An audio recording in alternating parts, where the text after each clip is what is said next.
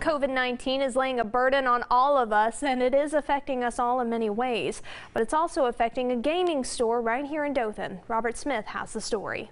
Many businesses around Dothan have taken a big hit due to coronavirus, including Fanatix, a comic and tabletop gaming store.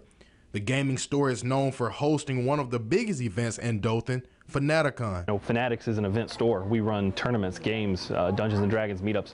That we rely on that, you know, for community events. So losing that has hit us pretty hard.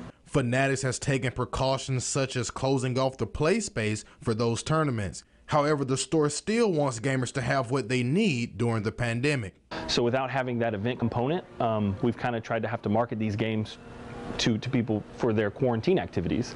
You know, everyone's finding themselves isolated with their own families, so we have products that are really good entertainment for this time. You know, they're cheap and durable. You can use them over and over again, and, and board games are fun and educational, so we're trying to just reach out to that uh, community to take them home. Although the store is limiting gamers from coming in to play due to coronavirus, there is still another way that you can play.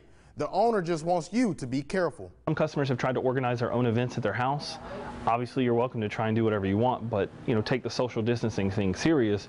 Um, you just never know what's going to happen. So we're just encouraging people to get some games for the long haul and uh, play them with their families. In Dothan, Robert Smith, WDHN.